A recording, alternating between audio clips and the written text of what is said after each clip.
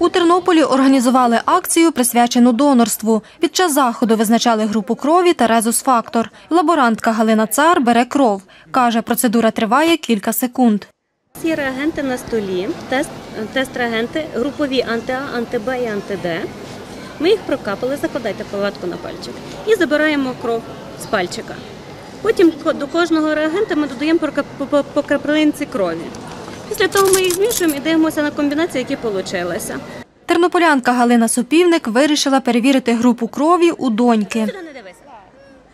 Взагалі потрібно дітей інформувати про групу крові, тому що вони в е, житті їм це пригодиться. Е, Ми всі живемо в таких непевних умовах, і тому, коли трапляються такі непередбачувані обставини, потрібно все ж таки, щоб вона володіла такою інформацією. Ну і порешті зараз в умовах повномасштабного вторгнення е, кожна дитина повинна мати свій ідентифікатор, і власне на ідентифікаторі повинна зазначатися група крові для того, щоб полегшити роботу і вчителям, і школі, ну і зокрема для е, власних знань і для збереження свого здоров'я.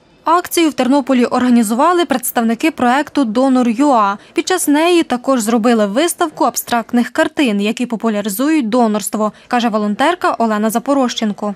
Хочемо підняти ще раз е, цю проблему нестачі донорської крові. Е, Зараз е, йде війна і це дуже актуально.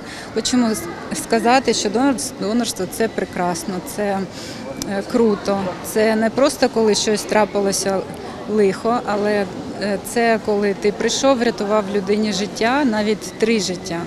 І е, хочемо, щоб молодь долучалася, щоб е, кожна людина ну, визначилася для себе, чи я донор, чи я е, розповідаю про донорство. Запасів крові у Тернополі достатньо, каже керівник обласного центру служби крові Петро Лучанко. За його словами, щодня донорами крові стає від 50 до 70 людей.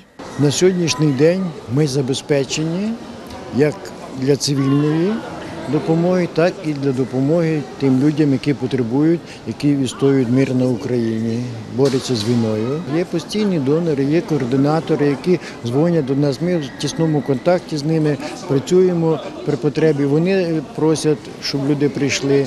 Петро Лучанко розповідає, донором крові може бути громадянин України від 18 років, у якого немає медичних протипоказань.